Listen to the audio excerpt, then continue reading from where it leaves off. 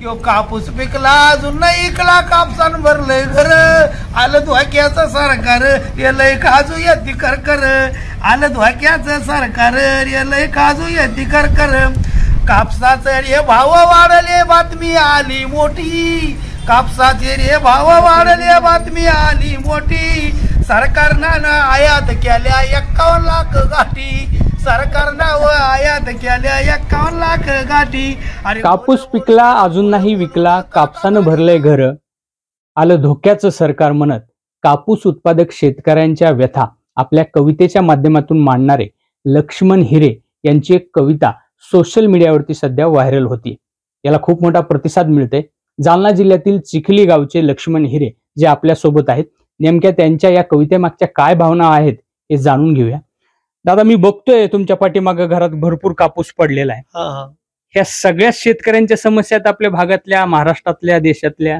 पूर्ण जे उत्पन्न आहे शेतकरीवाला ते कापसावाला त्याच्या त्या फक्त एकाच फिक्रीत पडेल आता सध्या की मग कापूस कसा इकन आणि याच्या अगोदर मे महिन्यामध्ये सोशल मीडियाला एक बातमी येत होती की शेतकऱ्याला सोन्याचे दिवस येणार आणि त्या आशाना शेतकऱ्यानं खूप काही क्षेत्र लावलं कापसाचं. हम्म, आता तीन महिन्यापासून शेतकऱ्याचा कापूस घरामध्ये पडू नये. हम्म, तर शेतकऱ्याला तीन महिन्याची तीन तीन दुःख झालेली. हम्म. आहे सुरुवात कापूस साडेनऊ हजार रुपये गेला. हम्म, शेतकऱ्याला वाटलं दहा हजार होणार आहे. हम्म, तिथं पंधराशे रुपयांनी शेतकरी आतमध्ये आला. आता आठ हजारावर आला. हम्म, हम्म, हम्म. नंबर एकचं दुःख शेतकऱ्याला. दुसऱ्यात जो प- जो पंच्याहत्तर क्विंटल कापूस मापून घरात भरला. आता. तर. त्याचं कप या तीन महिन्याच्या काळामध्ये त्याचं वजन कमी झालं. ते डायरेक्ट दोन दोन चार क्विंटल आतमध्ये येणार. आहे. वजन घटलं. तिसरा मुद्दा असा की शेतकऱ्यांना शेतकरी कोणताच घरचा पुरा नाही. शेतकऱ्याला उष्णे कोण्या पाहुण्याचे पैसे कोण्या दुकानदाराची उधारी खतावाल्याची उधारी ही त्याला देणं आणि ते याला फोन करते शेतकरी शेतकऱ्याला की भाऊ आमचं मिटलं काऊन नाही? तो म्हणतो मपलंच इकलं नाही तर तुपलं मिटू कावा. पण मग ते म्हणे मी इथून पुढे तुला तुला शिल्लक पैसे द्या लागन माझं दहा हजार आहे. तर तीन महिने तुपल्याकडे काही आज होऊ शकतं. का काही आम्ही तुला तीन रुपये टाका का दोन रुपये टाका लावू शकतो? जिथं दहा हजार द्यायची तिथं पंधरा हजार द्यायला लागू राहिले तिथं तिसऱ्या तिसरं दुःख शेतकऱ्याचं हे झालं. आणि चौथं दुःख बायको लेकरं बाळ हे सगळ्या घरात यायला वागता येईना. कारण की या खाजूना कमस कमी याला पन्नास रुपयाच तरी मेडिकल आण नाही. हा. असे चार दुःख या शेतकऱ्याच्या पाठीमागे. आणि आपण एक शेतकरी आहे आणि आपण ही बातमी सरकार लोक नेऊ शकत नाही. कारण लहान लहान घास असल्यावर मोठ्या तोंडात आपण घालू शकत नाही. मग या कवितेच्या माध्यमातून मी म्हणलं एवढा संदेश या शेतकऱ्याचा आणि शेतकरी हो सगळ्याचा दात आहे. याला जगाचा पोशिंदा म्हणलेला आहे. आणि जगाचा पोशिंदा आज रोजी बाजाराला पैसे नाही याजवळ उधारी उधारीवर बाजार करू राहिला. आता याच्या याच्यामुळं ही शेतकऱ्या सरकार लोक सरकार हे शेतकऱ्याचं मायबाप आहे. कोण्या सरकारला कोण्या पक्षाला कोण्या उदारून ही कविता नाही. कारण सरकार हे कोणतं सरकार येऊ? मायबाप आहे शेतकऱ्याचं. आता लेकरू राळल्याची माय पाजणार नाही. हा ते लेकराला रडावं लागेल ना रडलं का ते?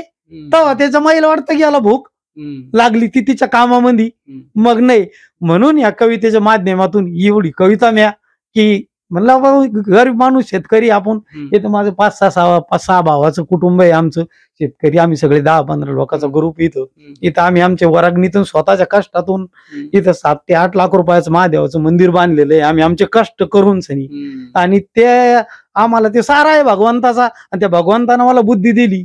तशी का मी म्हणलं आपण ते शेतकरी माणसं आहे बरं. आणि खरोखर कंडिशन मी जागरण गोंधळ करणारा माणूस आहे आठ दिवस झाले मी घरी आल्यानंतर आहे ना घरी आल्यानंतर मला असं वचका आलं तर तुम्हाला सांगूच काय आता बरं. त्या मी गोळ्या खाल्ल्या पाच गोळ्या खाल्ल्या ते बाहेर खाल्ल्या.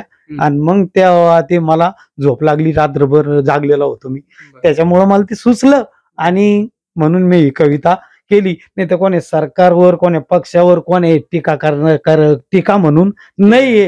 हा खरोखर जी रिअल कंडिक्शन आहे शेतकऱ्याचं. ही कंडिक्शन रिअल रिअल जी आता परिस्थिती शेतकऱ्याची ही परिस्थिती मी या कवितेद्वारे मांडली.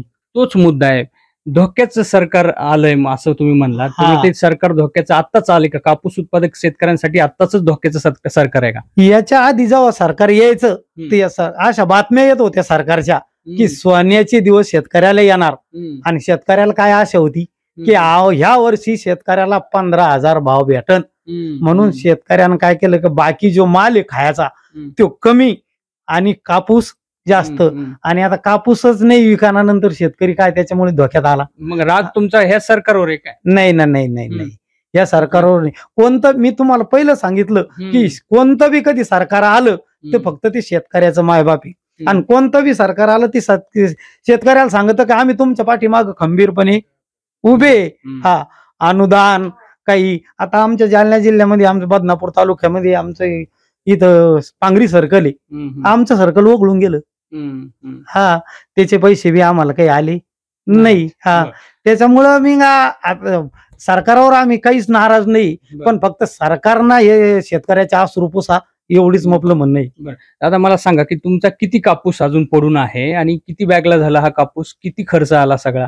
किती मोबदला मिळण्याची अपेक्षा आता खरं तसं बघितलं? साहेब याला याचालाच एक लाख पस्तीस हजार रुपये लागले. बरं. कापसाची येचणी करायला. तीस रुपये पाच किलो तर कोणीच येचित नाही. पन्नास रुपये पाच किलो कापूस येचून भेटतो. तर आता मपला कापूस याचाला मला नुसते एक लाख पस्तीस हजार रुपये कापसाची येचणी लागली. आ, आणि सत्तर एक हजार रुपये औषधाचे सत्तर एक हजार खताचे. दोन अडीच लाख रुपये खर्च मपला आता सध्या जवळचा होऊन गेलेला आहे. आणि मला आता काय आशा आहे का बा आपल्याला दहा हजार कधी भाव भेटला तर पाच त्या लाखाचं उत्पन्न. मिळन. आणि त्या आशेना तर त्याच्यावरती पाणी फिरलं गेलं.